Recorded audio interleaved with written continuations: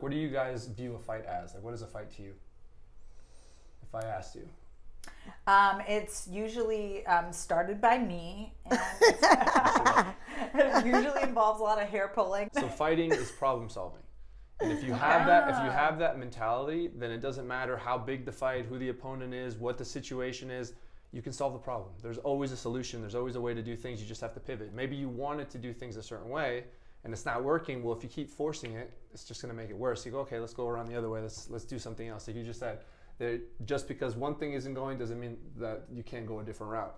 And if you start to ap- apply this mentality to everything, you guys will see you, there's always a way to, to, to go around this the problem or the situation. You just have to change the mindset from like I'm in a fight to there's a problem in front of me. Let's solve this problem. Yeah, yeah, yeah, yeah. That. Under all is the land, real, real, real estate. Courtney and friends about to show you how to generate wealth. Get educated, do for yourself. Add a couple notches to your belt. Under all is the land, under all is the land. The real, real, under all is the land, under all is the land. The real, real, real estate.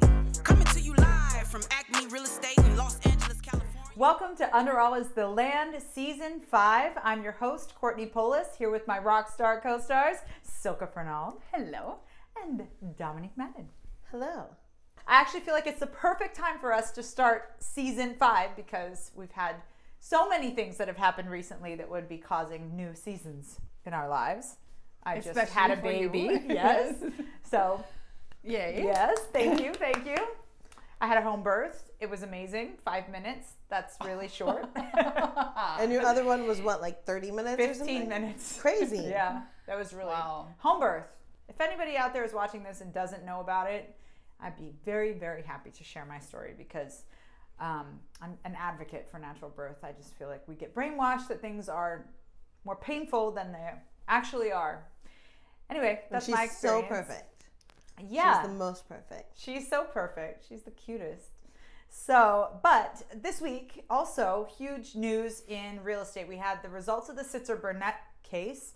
So, those of you who are following know that the Sitzer Burnett case was a class action lawsuit where over 500,000 sellers in Missouri uh, sued a few very large uh, corporate brokerages, but also the National Association of Realtors, and the plaintiffs prevailed. And their claim was that the real estate brokerages colluded to increase the inflate the sales costs of homes because sellers had to pay buyers agents They thought it was a conspiracy theory. a conspiracy. Everybody's Conspir- antitrust, not a theory, a right? conspiracy so everybody's colluding to keep the sales prices Yes, high. yes. So let's start at the beginning. Silke, what is buyer agency, and why should people want buyer agency? Well, it is uh, funny you should ask. it's a beautiful tool. It protects your buyer. It, um, it you know, so your your buyer has his own represent his or her own representation um, in their journey of buying and finding a home.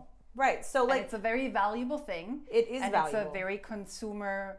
Pro- it's it's protecting the consumer. Right, It so helps both sides. it was invented to protect the consumer. So it's Right. invented so that buyers are able to have a real advocate in their process of purchasing a home because obviously um, sellers and listing agents who have a fiduciary responsibility to the sellers are not going to always be in the buyer's corner even though you know the rules say they need to be honest and that kind of thing. I think the reality is when you have a fiduciary responsibility to a seller, you don't want to violate the fiduciary responsibility and act like you're representing the buyer too, right? Especially if you're in a state where dual agency doesn't exist, where one person can't be represented by, um, you know, the buyer and seller can't be represented by one agent or one brokerage.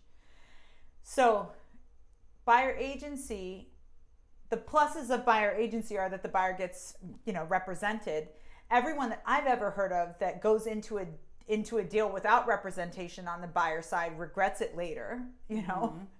because they didn't know what was happening to them and they had no one to trust in the transaction. So they think they're saving a few bucks here or there but really they're not.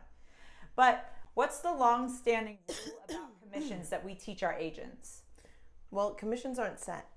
You know, there is no fixed commission amount. It's all negotiable.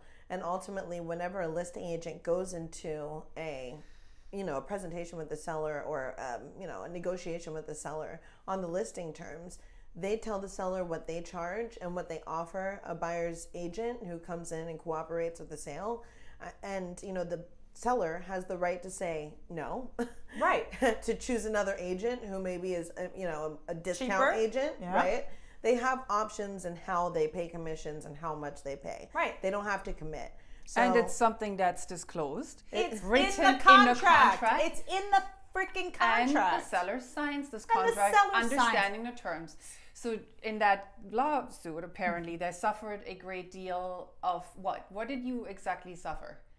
they you knew suffered what the you were consequences of signing. signing their contract. aka And when a you sale. sold your house, after you sold your house, you turned around probably to buy a house, and then you benefited from a buyer's agent as well, right? Yeah, but I'm sure they did. So That's a really good point. You know, nobody's talked about that. Mm-hmm. Actually, I bet all those people who were in that 500,000 sellers, I bet they all used buyer agents that were paid for by the listing side commission. Um, Mm-hmm. To buy that's something. a really, really good point. Yeah. I hadn't even thought of that. Well, I, I think even the fact that there were commissions paid says enough because that's saying that there were successful sales to be had. Mm-hmm. And if you look at the stats on FSBOs or for sale by owners Yes. versus properties that are listed in an MLS with an agent, Mm-hmm. they sell. I, I want to say that I saw a stat that they, they sell for like 30 to 35% less. Less, of Yeah. course. You know? Because what's an agent's job? We specialize in marketing. We know how to advise our sellers on how to mm-hmm. get the top dollar mm-hmm. from the buyer's market by delivering buyers what they want, what they need, prepping the house for sale, like doing all the things,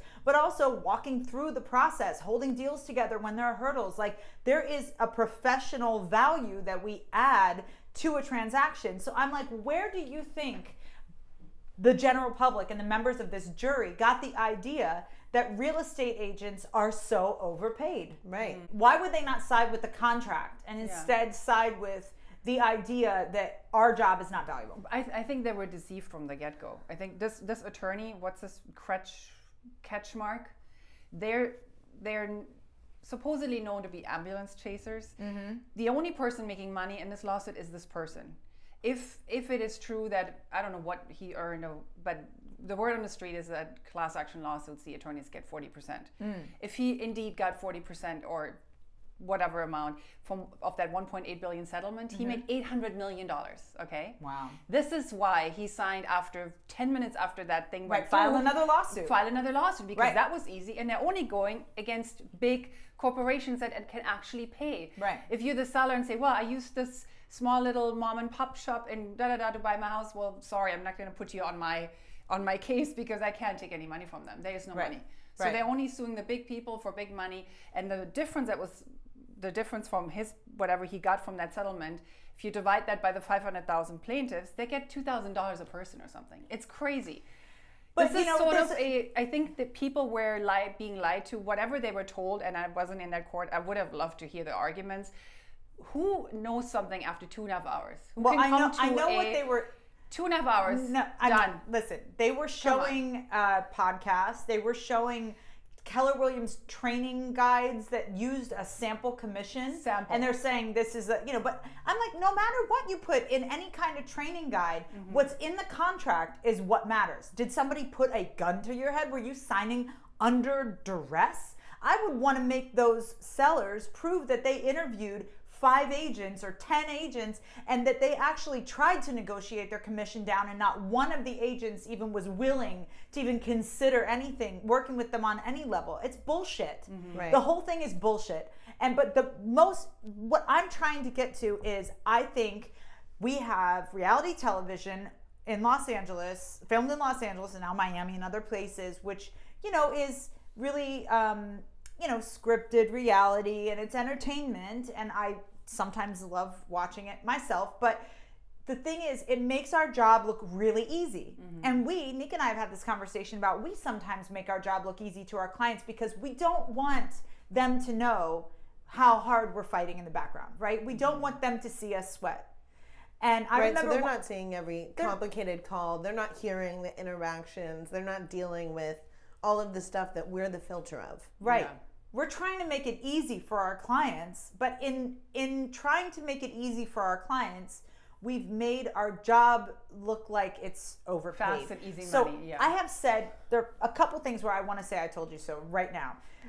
I have said from the beginning that NAR needed to spend its money educating consumers in campaigns on what it is that realtors do. Instead of making these cute, who's your realtor, um, meaningless uh, commercials, which mean absolutely nothing. They're more stuck on like, does your realtor have an R? Like, it's so stupid. They're not talking about agency. What's the value of a, a buyer agent? Like, what is it that we actually bring to the table? They've never done a campaign on the value of agents. And I've said that for a very long time, publicly, even that that's what NAR needs to do. But also, I remember a few years ago on the Inman stage, I was right before the um, CEO of um, like homes.com came on. Um, we were talking about I, I it's always been my pet peeve that clear cooperation and the policies that NAR have put out. Clear cooperation is a policy that requires agents to put a listing in the MLS. Were lopsided. They created these shadow MLSs inside of brokerages, and it favored big brokerages. So you could tell that there was some insider dealing there. Um, they refused to hear any feedback on it. I went to our state representatives, national representatives, and and when I was talking about how unfair and imbalanced it actually was, I got a cease and desist letter from our association. And I, I, but that's because they didn't want it to be confused that that was their position. But my point is, there was nowhere for ordinary real estate agents, licensees who were forced into membership by with NAR in order to join the MLS. There was nowhere for us to vocalize our dissent. They have not been listening. Now, if you read Brad Inman's post on um, what he posted, I posted it on my Facebook. Um, he it's a mic drop moment where he mm-hmm. says, "Listen, you fucked around. You got sexual harassment lawsuits. The CEO now just left. You didn't have the back of that MLS that we talked about before in in upstate. You know, it was like in New England that got sued for basically this same thing. I think that was like a test run or something." you know you don't have the backs of the of the agents mm-hmm. you don't care it's like you don't have anybody who actually sells real estate making decisions so in that vein i'm like i told you so. I said this was going to be a problem. C- clear cooperation is a big part of what this lawsuit's about because it's saying it mandates that properties be entered into the mls therefore mandating cooperation. When even in the code of ethics of NAR, it says there is no requirement for cooperation. So they're violating their own um, code of ethics, even just in having this. But so now in Orlando, agents are going to be allowed to enter listings with no cooperating commission. So that's interesting, starting in November, like next this month, a couple weeks. Um, and then Wow. in New I York, they're gonna go. modifying the listing agreements so that it says the seller pays the buyer agent directly. So it's no longer a split commission. So it's not Mm-hmm. like the listing broker is offering a portion of their um, of their Well, as long as the buyer's agent gets re, uh, you know gets paid.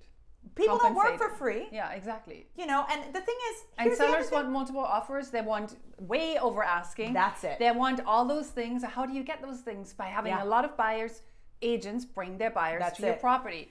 So if we have to now, listing agents have to sell the house and find the buyers, yeah, it'll be a lot different. Right. It'll be a lot different. It'll, It'll be be like lot every listing's a pocket listing. Yeah. Which, as we've talked about, it's like, why would you market to 500 people when you can market to 500,000 people or Yeah. 10 million people or whoever's looking at all the aggregator sites? Like, Right. why would you limit it to such a small population? Sellers will quickly learn that if they don't offer a cooperating commission, there aren't going to be as many buyers writing offers, I think.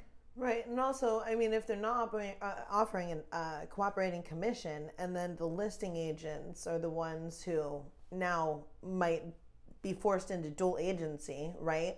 If Which there are no buyer agents, right? but If there are no buyer agents being paid, unless there's a separate agreement for the buyer themselves to pay the agent directly, Who can afford then that, right? you know well i would just question how many listing agents would want to do dual representation for half the cost. Right. Also, also, I don't think that that's going to be many because the liability itself is enough. the liability is huge. You're doing twice the work for half the cost. Exactly. And then on top of it, there's no guarantee it's going to be a better transaction because you lo- you as a seller lose your advocate. Essentially, it becomes transactional. The seller's agent can't advocate in the same way when they're also representing the buyer. You know, so you lose your um, your your person fighting for you as well to get you know the outcome that you that you want. It's just so stupid. So my great hope is that it actually doesn't shift things too much. There's no industry uh, response to this overall yet as to how this is going to affect things. NAR said they are going to appeal. Which they should. I think it's. they I should, think it should have been a mistrial. I really don't understand how this judge Well, ruled in favor of the plaintiffs. It doesn't make any sense. contracts don't matter. Maybe he's But, a it, scorned but seller. what is the Optics right? The scorned seller who then used the buyer to buy out. Mm. but how? I think what How? we're learning here is that like there is the the contract itself, which we have always been taught is so rock solid. It, it clearly says that the listing broker is offering a portion of their commission to incentivize a buyer to bring an, a, a rep, you know, bring somebody. So it's like right there in the contract that the sellers probably didn't sign by gunpoint. Yeah. Um, it doesn't matter Yeah. it right now if you just feel like oh i left some money on the table so what were we talking about it's like if a contractor did shitty work or something now we can go back and be like that contractor paid too much we paid that contractor too much you know he got paid way too much to do my kitchen i calculated it and these cabinets only cost 6000 why did i pay 10000 for the people to install them Right. I What's want his my labor money really back. worth? Mm. yeah it's like it's like it's so crazy anyway i'm hoping that there's not the, the response is still like tbd but it is rocking our real estate world a little bit right now i think and then i ha- i watched morning joe i saw aaron ross sorkin who is a respected journalist on camera talking about shit he does not know anything about the fact that it's never never been negotiable he called it a tax on americans What? a tax on Americans. Yeah, Our job good is a tax right? on Americans. Yeah, yeah. I swear, I God, wanted with to all the other taxes on Americans, Yeah, right. the real taxes Yeah. on Americans, is the our job. cost of agency Yeah. is the one he can't fathom. Wow. Yeah. Wow, you should be fighting bigger I wanted to reach through the to the TV and punch him in the face. Yeah. I sent him a message on Instagram. He hasn't responded yet. But Aaron, if you want to learn how real estate works, please feel free to DM me. I'm happy to come in here and walk you through a fucking contract. Yeah. Thank you. Um, so it's been doom and gloom, but we have some good news, and today we have a very special guest, Eddie Arrazola, who is the founder of Lobos Boxing Club in Los Angeles. He is a, an advocate for um, citizens of Los Angeles, but he's also a mindset coach, and he is a profession, former professional athlete, and he's an all-around guy who can help us stay strong in the face of high interest rates and um, doom and gloom news. So I'd like to welcome Eddie Arrazola. Welcome, Eddie. Thanks for having me. Thanks for coming on to our show. So it's been doom and gloom in our industry. Yeah. We're having um, some interest rate issues, although they just ticked down like a little bit today. So if you're if you're uh, in the market, you should be calling your lender. But even ticking down is still higher than most people are accustomed to. It's really like knock buyers' buying power, and kind of like the enthusiasm is. Um, Right, but Being may a I little- add one thing here? Just shout out. There's a lot of sellers that are willing to do an interest rate buy down. So that's a, an amazing tool. that's true. They'll get you to that rate you're waiting for without competition.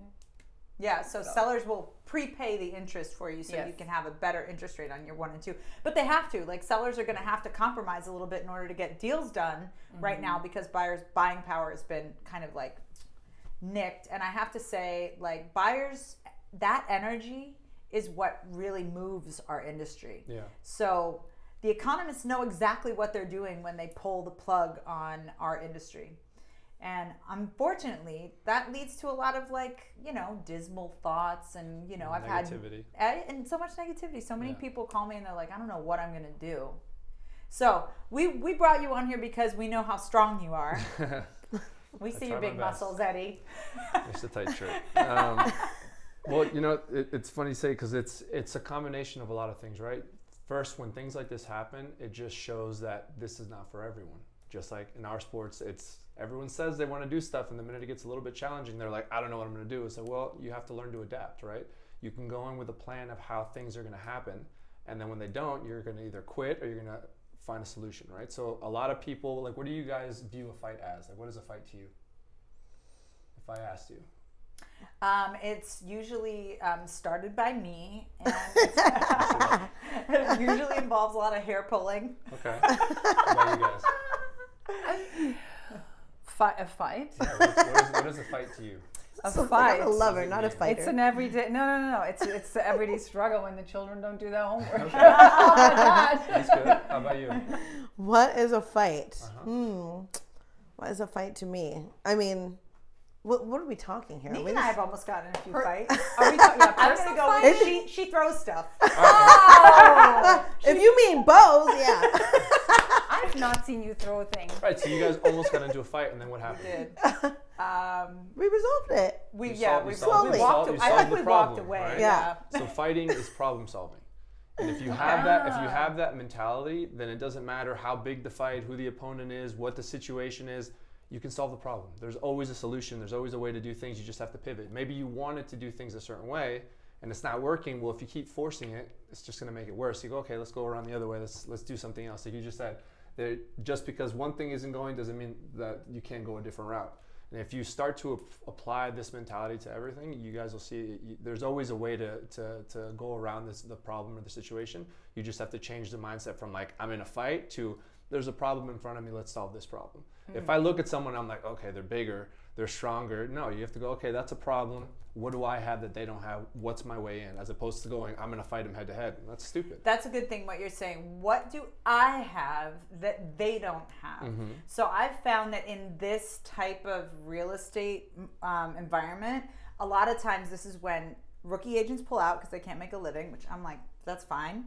Clear the path. It's not for everyone. I've learned that. I've tried to train people to be great agents, but if you don't have this hunger, I don't know that this business is for you. It's probably just like The sports. same thing. Yeah. Yeah. But also, um, this is when you can come out. So, like when people start pulling back on marketing spend or whatever, uh, this is when you can be seen more, right? Because your competition is kind of like pulling back. But a lot of people don't even have the money to market under any circumstances, so they have to get more creative. Yeah, and that's the thing. You, you have to pivot. And one of the things you just said too, it's, for example, one of the drills we do, and I have a I'm very proud of our. We have an amateur team that's mostly female, and um, one of the things we drill a lot is when you start to get tired, when it gets hard, that's when we push the hardest. So the last 15 seconds, the last 30 seconds of anything we do, that's the hardest. That's the hardest part. That's when you go faster. That's when you go harder. So that when it does get tough, and everyone kind of feels like quitting, your instinct is to go harder and then you have that mindset and that just gives you such an advantage because you know it's going to get hard and most people are going to start to quit and, and you're not you have it in the back of your head that you're just going to push a little bit further and, and you'll get to, to your goal faster than that. I love that. Yeah, Right thank you that for that reminder. yeah of course What are you seeing? Like, is there a theme you're seeing now? Because you know we live in a real estate bubble, but you know whenever you're training like kids or the people that come in, are you? Is there like a narrative happening right now? yeah i think and i think we talked about this the other day um, quitting has become acceptable to so many people. Hmm. Like it, it's just the normal ni- mindset now. Is like yeah i'll just quit. If something gets hard i'll just quit with everything. I'll quit this relationship. I'll quit my business. I'll sell that like nobody thinks about okay let's let's grind this out. Let's let's figure it out. Let's solve the problem. And it, and it starts from when you know when these kids are young they're allowed like our generation i think was too much We're like we couldn't do anything. We, we, were, we had to force our way through things. We weren't allowed to cry. We weren't allowed i think we've overcorrected and now this new generation of like 20 year olds that are coming into the workforce have never had tryouts have never had winning and losing. Uh, they get a trophy for everything. Uh, they don't get they don't get corrected. There is no truth. They can feel whatever they want. So like my generation was don't feel anything. This generation is feel whatever you want. So what happens is now when things get a little bit tough, they're like, well, I'll just quit. Instead of having the mentality of like quitting is not acceptable. If you quit something small, even something like for us, it's like a workout. It could be a, a regular class and it's like, okay, everyone, one minute nonstop. And you see that person that's just like, "Ah, I'm embarrassed, I'll just quit, whatever. Okay, if you quit this, you'll quit everything else. And you know, I can imagine real estate is very hard because a lot of things are out of your control. You can't control the way things go. No. So when they get hard, you're gonna be like, well, this just isn't for me. I'm gonna go do something. Okay, well, it's gonna go like this always. It's never gonna be always, and that's every every every job, every every industry that I've been in is the same thing. Fitness. Sometimes you're feast or famine. People are all training, and then you know around November, December, everybody disappears. it's. It's, it's it's you know January, then everyone's back in. Everyone's motivated for the next year, and you know it, it it's it all goes back to the mindset, right? Quitting can't be an option, and I think motivation is bullshit. I think it's bullshit. I don't think that motivation it lasts 30 seconds. You watch, uh, you know, David Goggins' speech, and I'm like, 30 seconds, and then after that, I'm like, uh, it's, it's discipline that gets you through. So you have to have discipline to do the things that you have to do. Like for you guys, it's not, you know, do your miles and run. For you guys, is you have to have everything handled. Everything has to be Right. We need systems. uh, yeah, systems have to constantly be in order, or when things happen, you're not going to be ready for it, and you'll quit. I was thinking about people who entered this business. Say, like, there are a lot of young, like, agents that we work with in LA. I'm sure inspired by reality television. I used to be a young agent once too, um, but Still uh, thanks. Um, but you know, a lot of them have never experienced a market like if Like they this, if they if like they that. have been working real estate from their age 20 to age 30 Mm-hmm. like the past 10 years they never experienced a declining market or a changing market Mm-hmm. or a, a shifting market you know at all and they don't know what to do Yeah. yeah, but see, I think that like unlike probably you, you see those people and you you, you try to encourage them. Well, look, there's some people that are born with grit. You know, like Right. like for example, my kids program. You'll have kids that start sparring. You'll put ten of them to sparring. One might be the one that's like, yeah, I like this, and you're like, okay, let's keep an eye on him. but, for the, but- but for the most part, like kids aren't gonna like it because it's hard. I didn't. I wasn't. I was naturally a sensitive kid. I was very nice, sweet. I liked animals, and I slowly, I slowly like developed my toughness. It was like over time. It's like the the boiling crab thing. You know, if you, you put a crab in hot water, it'll jump out. But if you put a bunch of them in there and you slowly turn up the heat, they they, they get cooked and don't even realize it. God, that's, awful. That's so sad. But that's, but That's that's the truth. You know, training is the same thing. If you get forced into something difficult, well, yeah, it's going to be hard. The majority of people aren't going to be able to handle it. But if you're constantly putting yourself in hard situations on purpose, Mm-hmm. so you can figure out how to get through it, how to solve the problem, then when they happen, you'll be able to get through. And I think people don't do that enough now. Mm. And like you said, these kids that are 30 now, they've if had nothing but success because it's been Right. great. We've That's had good saying. economies. Like nothing bad has happened Right. where you know some of us some of us have this is our second recession like this isn't the Right. first time that we've seen this sort of thing so like they don't know how to handle any sort of problem and, and because they didn't have it in their upbringing like the schools didn't have it they didn't have tryouts they didn't all the stuff that we said well yeah they're going to freak out and they're not going to be able to respond like you need to and it goes back to to the training we do right so a reaction is something natural right if i do this and you flinch that's a reaction response is the training you give yourself response is moving and countering back that's a response Right. if you guys don't have responses set up for when bad things happen, then you're just going to have a reaction and, and freak out. Which I kind of think is something that has happened. Yeah. Like, "Ah," Every- every- yeah. response. I mean, um, reactions Yeah. to things. yeah, so so so I think a lot, a lot of the, what's happening for you guys is out of your control, right? It'll whether it be the economy or other people are making decisions for you that shouldn't be making decisions. Some of it's not anything you control. All that you can do is train yourself and be as prepared as possible in whatever that With a means- response. with a response so that you can respond to whatever it is. It's like um, I, I I don't remember what coach I had, but I remember him telling me that you know boxing is a conversation, right? And the more articulate you are, the more you can control a situation, the more you mm-hmm. control a conversation. If I know three words, I'm going to sound really stupid, and the only thing I'm going to be able to do is get louder and angry, mm. right?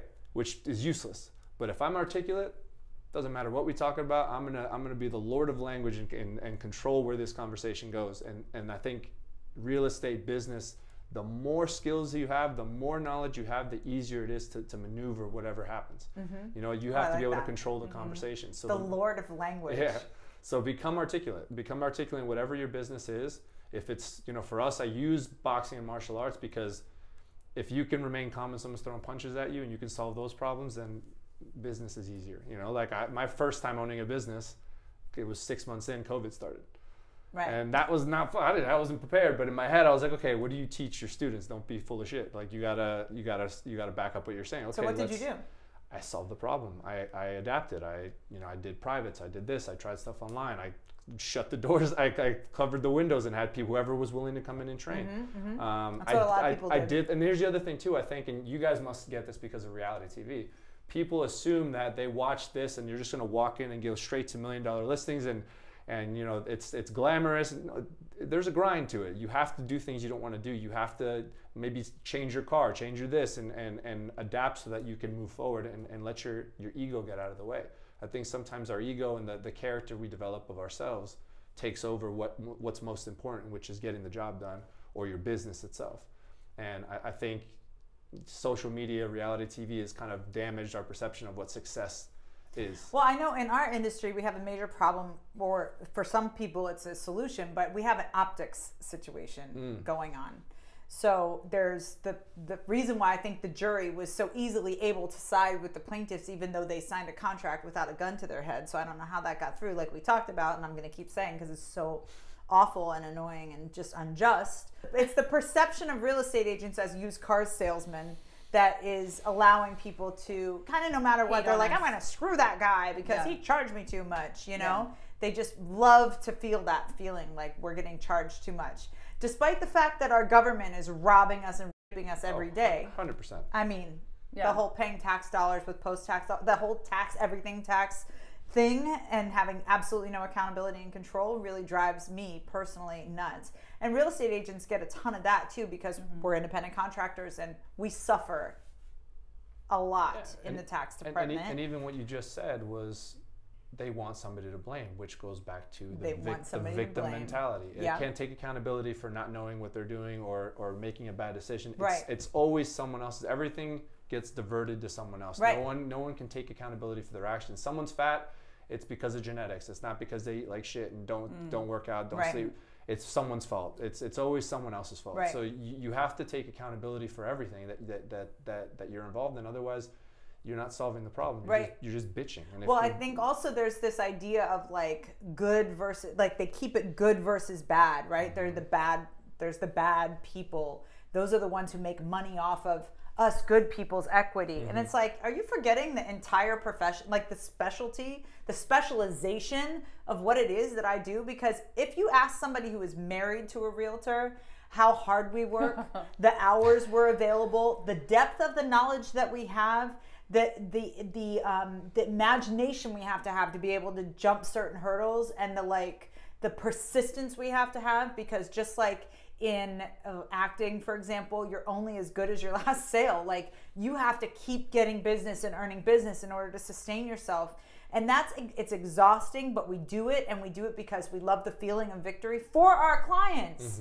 You know i'm like who are they interviewing on the tv shows? Are they interviewing real estate agents? No are they they ever asking us how we feel? No. Or like what it is that we're doing? No. None of that was part of this conversation. It was all about perception.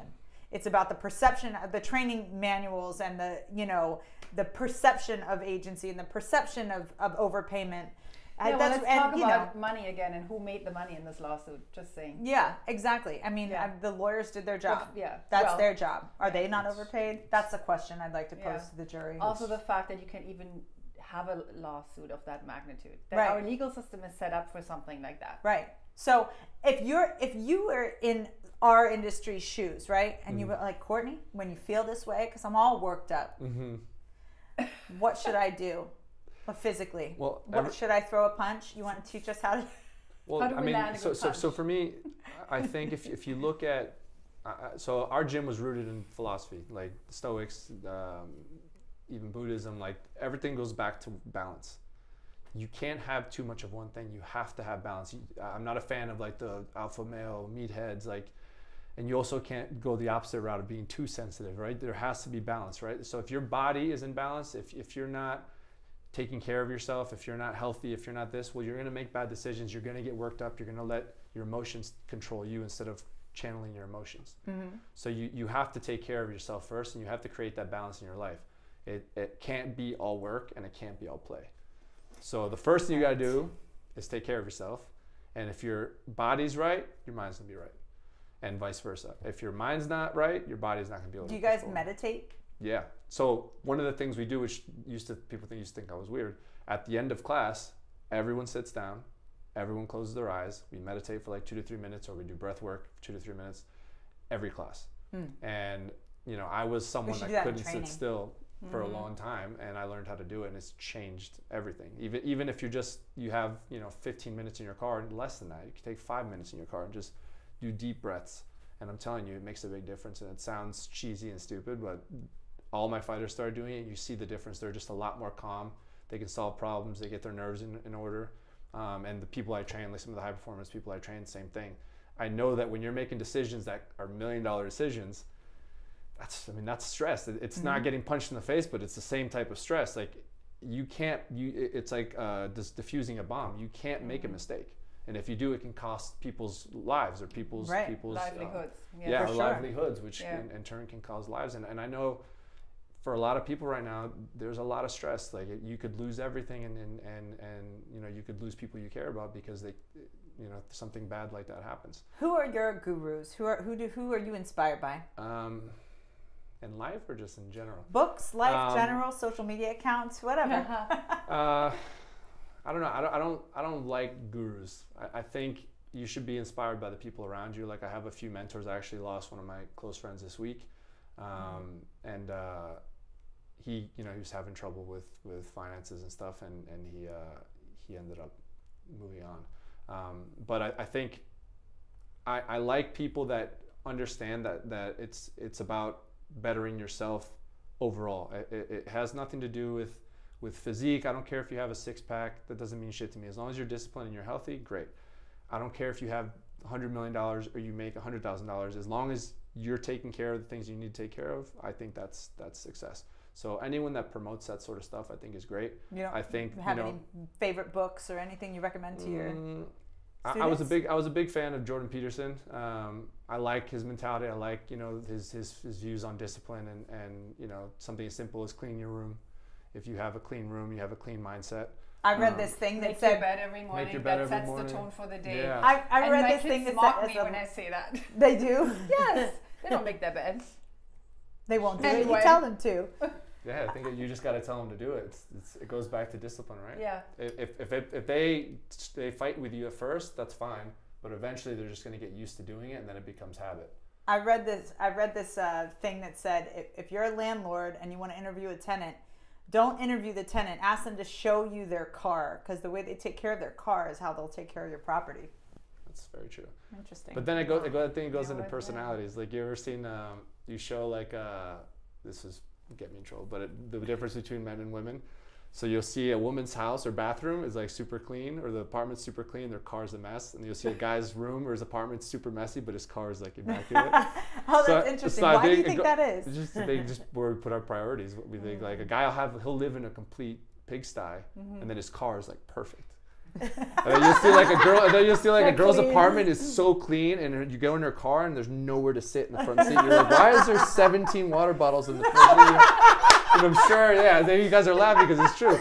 So it just it goes My it goes car is pers- clean, it, it goes personality. My Um, car is clean. and Oh look, some, some, God, some that very smart so people, funny. some very smart people are messy. I, I think, I think is so sometimes you just your your your organization gets put into other areas because you only have so much bandwidth, right? And what what decisions you can make in a day, and I think you prioritize where you're going to put your neatness Mm-hmm. or where you're going to put your organization.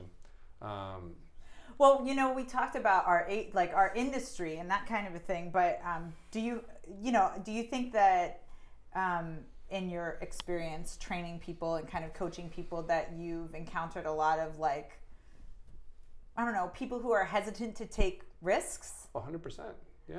because I feel like a lot of our buyers right now, eh, like it's, I know we say it all the time, but the truth of the matter is, when the interest rates come down and the industry is flooded again with buyers, you are going to be like, is it the right time to buy? Because now it's 25 offers on a property and you know, I thought it was going to be more affordable because the interest rates were lower. Now I'm paying $200,000 more. Like, don't be stupid and paralyzed. Let's look at where your opportunity is. And the reality is, if you find something you love right now and you can afford it right now, you can refinance later and get an even lower mortgage payment in the future. But now is the time to buy. Mm-hmm. How many times do we have to freaking say it? But people are just risk averse. Like they go with the go with the you know Whatever they yeah hear. the, like whatever the the, bad news the is they'll go people. yeah all their friends stopped looking they'll stop looking all their friends started buying they want to buy you know how can you What's what's it's very fad mentality. People kind of do what everyone else is Yeah. doing, and I think it goes back to understanding the value of what you guys do.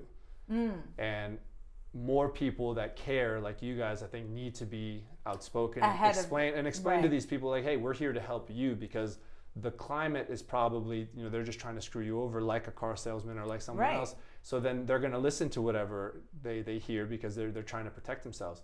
Also, I think when it comes to pulling the trigger, that's that goes back to just people are people are scared in general. They don't they don't train. how do you that. coach them out of being scared if you're So, us so, so, so let me give you an example. I do um, women's self-defense seminars, and one of the biggest things I hear for women that have had attacks or have is that they didn't do anything. Oh, they just froze. They froze because you have to train that. And I know, I know grown men that competed and that trained their whole life, and they didn't train that part of their brain. And Okay. in the ring, they're monsters.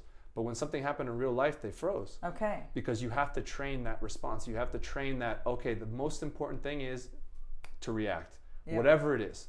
So the first thing we do is we do drills where we'll have, okay, we're gonna do 15 seconds of being calm and passive. When you hear the bell, it's five seconds of full on violence. Like whatever comes out, comes out. I don't care if it's ugly, the technique doesn't matter. Just be able to flip that switch. Hmm. And if you have that mentality, you see the top business guys all have that. They're kind of crazy. You know, they have that mentality like they can turn it on. A lot of these guys are training martial arts now. They're boxing and doing things because they need to train their minds to be sharp and to, to make a decision and respond hmm. and, and react the way you need to. Um, I think most people now don't do that. So when they do have an opportunity, they freeze hmm. or they're so scared of losing because they've never lost before that they won't take the risk. But a lot of us, we've lost a, a bunch. We know if I lose, okay, I'll get back up, I'll do it again. If I lose money, it's the same thing. There's no difference. You can always make more money. You can always get back up. You can always try another another business. But if you've never lost before, losing is the scariest thing on earth because you have no idea what that means. You don't know idea how much you're going to lose. It's, you've trained people how to lose you have to learn how to lose. You're gonna Yeah. have look it, when you train, especially when you start competing, and, and, this is why like we'll start with a competition team of 20 people, and it'll end up being six. You know, the Navy SEALs the same. You know, those guys like I have buddies that are SEALs, and they said, we'll start with 50 guys, and by the end there's like 10, and out of those 10 there's five that are good. You know, and because it's not, it, it everyone can't handle that that that that sort of um, pressure. But if you train it and you put yourself in, in, in hard positions all the time, you'll you'll be able to react better than other people. You'll be willing to take that risk because you know I've lost. In the ring, you get your ass kicked most of the time. You're not always the man. You're not always on top. You're gonna do rounds with people. There's always somebody bigger. There's always somebody better than you, more experienced. But if you're willing to go in and chase the, the top dog all the time, then you'll be okay with losing. Be like, yeah, I'll get my ass kicked today, but I'm gonna get better. I'm Right. gonna learn Right. whatever whatever mistakes you make. Did you guys watch? Um, change stay on subject, but uh, Elon Musk documentary about SpaceX. I haven't. i didn't either Okay, so what I found was interesting, especially as a coach. So you had Boeing, um, I forgot the other two companies that were competing with SpaceX. What Elon did that I thought was so interesting that nobody else is doing is all of us inherently go for perfection on every try. We try to be perfect every time, try to be perfect every time. So Boeing would take six months to do one launch, and then it would fail, and then they would be like, okay, cool, let's just try to be perfect again. Elon was sending a rocket every other day up, and what he would do is when it would go up, the failures, he would just fix all the failures and then do it again and then fix all the failures. So he was getting so much more done than these other guys that were trying to be perfect each time because they were so scared of failing. Where he was just like, let's just keep messing up and then I'll fix up the screw ups as opposed to trying to be perfect. Mm. Because nothing's going to be perfect. The market's never going to be perfect. It's never going to be the right time. It's never the right time to have a kid. It's never the right time to get married. Like, Right. there's always can be better. You just have to do it. You just have to pull the trigger and then solve the problems as they go. Hmm. Same thing with fighting. It's like I have people that say they want to be fighters. They say they want to do stuff. Well, the right time. I just I got to get my weight. I gotta no. You just train. Get good at Yeah. boxing, and then everything else will fall into place. The weight will come off. This will happen. But you have to do the work. You can't say, well, when the right time. There is no right time. right no that's so true I thought mean, when I opened my gym, I was like, I didn't want the to. I didn't want to. Yeah, I didn't want to open my own gym. I was like, I like being able to do other things. I train at other people's gyms, like do my own thing, and not have to stress about rent and all that stuff. And then they're like, Eddie, the, the economy. This is the best time. It was uh, end of 2019. The economy was crazy. Everyone has money. Blah blah blah. All right, cool. I'll listen. I did it. Six months in, COVID. Worst time ever to have a gym. And of course, like you know, California closed gyms. They left liquor stores and, and everything else open, but they closed gyms. we needed to drink. Yeah, exactly. but we also needed to be healthy, and they closed all of our gyms. And I was like, great. Like I thought it was the perfect time, and it ended up being the worst time to open a gym. Right. But again, I, what did I do? I said, okay, I can cry about it and say, oh, poor me, first time owning my own gym. I'm just gonna quit, or I say, fuck this. Like that's it's You problem solved it. and this is where I, you know, I figured out everything in life is if you apply it to a fight. A fight is long, twelve rounds, right? This right now, just a bad round. It's a hmm. bad round. You can come back from a bad round. Just fucking stay on your feet. Use the shit you know, defense, whatever it is. Weather the storm. Those motherfucker might get tired, right? The other guys are I gonna like quit that. I like that It's too. good and then you Yeah, got like you got more too. rounds left to win the Yeah. fight, right? But Bad if you go, oh, I can't. There's no, I don't see a way out. Okay, well, yeah, you're right.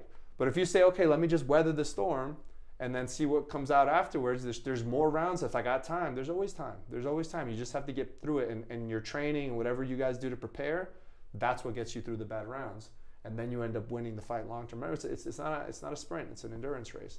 That's a And- and- really, really great place to Yeah. end it. Thank you so much. Yeah, That's you're welcome. Amazing. How can people find you? Um, so uh, the gym's in Melrose and La Brea, it's Lobos Boxing Club. So we have an Instagram at Lobos Boxing Club, um, and then mine is at eddiearrazola.com. And just at- a side note, you're also like an actor. Are you still doing that? I, I, I stopped during COVID. Okay, uh, So I did. I, I had a film about fighting actually uh, that I did in Australia last year, and that's coming. But we also had a, a strike, so same thing. I, came- I, came, I came I came back after COVID. I'm like ready to do it again. I did one movie, and then they're like actor strike. I was like, cool, going back to fitness. And it's like- I pivoted. Same thing. So it's like every time you think things are good, you just gotta you just gotta adapt. Yeah, we're in a strike right now. So Yeah. I was acting for. I did one movie, and then I went right back to Striking. yeah. So now I'm back into doing coaching. Got it. Okay. Well, we'll look out for you anyway. Thank you. Thank you so much for joining us on Thank Under All the Land. it. We We'll have got you guys so much gym out of that. Yes. Thank you. Yeah, we're gonna we're coming to the gym. A special episode. So stay tuned. Yes. We're coming. Yes. All right. Cool. Thank you. Thank you. There are a lot of great takeaways in what Eddie was saying. I mean, I feel like Mm-hmm. really honestly looking at this moment, because we have all three of us talked about this moment being maybe like a cleansing, a time for restructuring, a time for, you know, really like energizing your next move Mm-hmm. and giving real thought to that. Um, there have been so many changes that have happened just in our industry, in our brokerage, in our industry, with our clients. Like, there's just so much going on right now that's saying it's time to move things around a little bit, right? Yeah. So, sure. you know, I feel like that idea of it being like a round in a fight is a really good way of thinking about it. That's, Yeah, for that's sure. Yeah, I like that too. I love that. Yeah, not everyone will make it through the round. That's for sure. Not everybody will, and But like, the strong will. yeah, smart will. Yeah. discipline will and I, I think that we have that so i'm it's not also much needed in a way because Yeah. there's just too many people running. Rampant. right. Thank you. I was trying to find the word. yeah and, and to wrap, bring it back to the NAR thing for me it's like the takeaway is we cannot trust that our association that takes our money Will to have our promote our interests actually knows what our interests are is actually going to spend our money to promote our interests actually cares what we feel or think or how it is on the ground I, I'm, I have lost complete faith in that idea so I think then the onus is on us to educate our clients better. So clients, if we're going to do a meeting, we're probably going to have a bigger conversation around what it is that we do, how we earn our commission, why we earn our commission, why we're so valuable. Like that might get annoying for some people, but you know, if they're not going to do it, then we're going to have to do it. That's my that's my thought. Yeah. True that. Okay. All right. Anybody have anything else to say? I think you said it well. Just I'm Okay, glad thanks. we're back. I'm so happy to be back. I'm so glad we're back. We'll see you next time on Under All Is the Land. Bye. Couple